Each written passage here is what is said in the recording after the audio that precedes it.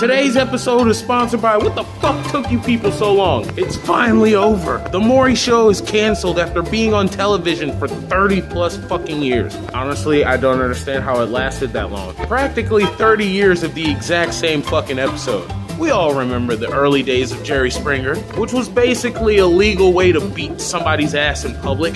I'm talking shit right now, but this is good actually. This is much better than what I thought Maury was gonna do. Maury has essentially decided to leave the table with whatever chips he still has. At least he's not doing this shit. Jerry, when it comes to reality TV judges, I drew the line with Judge Judy because it, it at least looked like she was trying to do her job as a judge. This is it. This is it. Hopefully, this is it. Because shit like this